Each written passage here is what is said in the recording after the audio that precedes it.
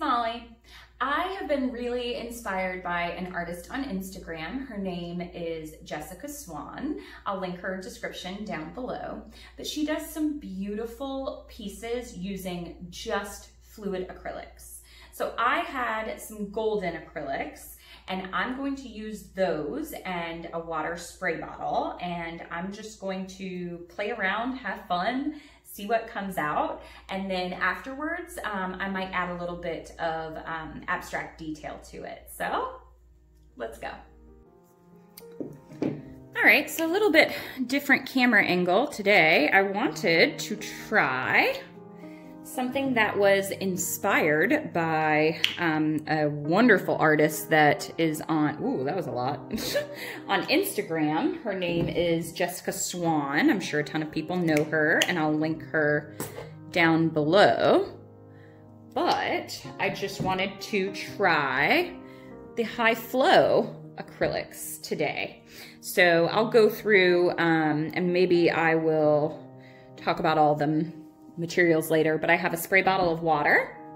I've got my high flow acrylics here and I'm gonna use my paddle brush and blend these colors in. And I have a little bit of yellow as well. I don't know if I'll use that, but let me just blend all these colors together.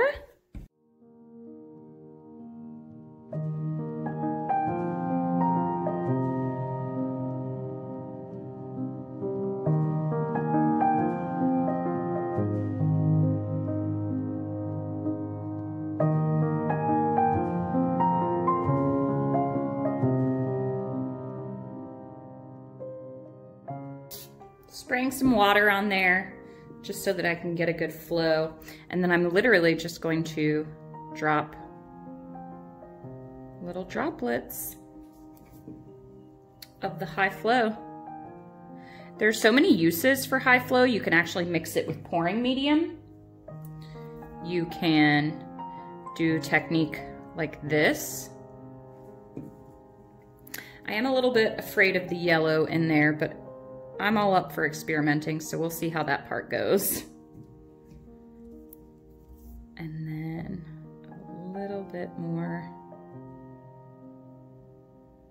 Whoops, needed to clean that off. And then here comes the magic of the white. So I'm gonna do a little bit of a spray here.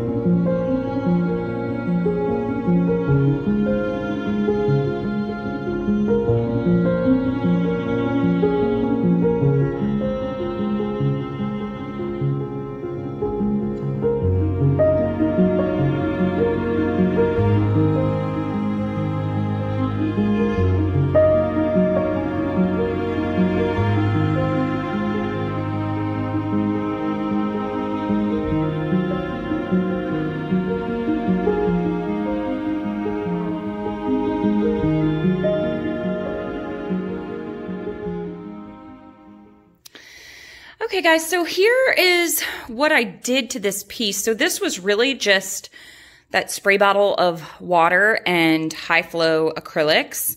They move so much so fast. So I really recommend if you're going to be trying any of this, have a very level canvas. Parts that I really loved, they ended up kind of moving and spreading out. Um, the you can see some of the colors were like, oh, there's a piece of hair in there. They were really glossy. Um, others dried kind of matte. These are those are some really beautiful effects that happened in there. But what I ended up doing was coming back in with um, some actual acrylic paint and just kind of layering in interest and design. I really like the yellow in this. So this is a very abstract piece for me. It almost looks um, like graffiti-like. Um, not my not my usual at all, but I was just really trying to to push myself for something different. So this is definitely a work in progress. I'm going to try some more pieces like this. I put a little bit too much water, a little bit too much paint.